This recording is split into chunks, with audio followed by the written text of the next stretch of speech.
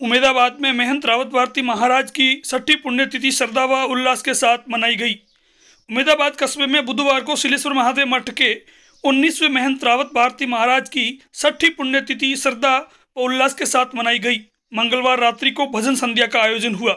भजन संध्या में एक से बढ़कर एक भजनों की प्रस्तुतियाँ दी गई। बुधवार को अल सवेरे से ही श्रद्धालु एवं साधु संतों के आने का तांता लगा रहा।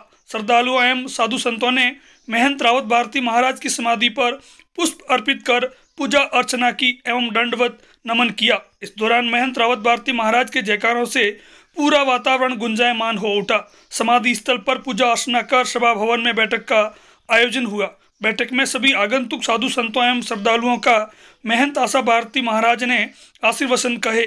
बैठक के बाद भोजन प्रसादी का आयोजन हुआ। इस अवसर पर महंत बाबूगिरी महाराज, प्रेम भारती महाराज, लहर भारती महाराज काशीनाथ महाराज, लाल भारती महाराज, विजयगिरी, रामेश्वर भारती महाराज सहित बड़ी संख्या में साधु संत एवं श्रद्धालु मौजूद रहे।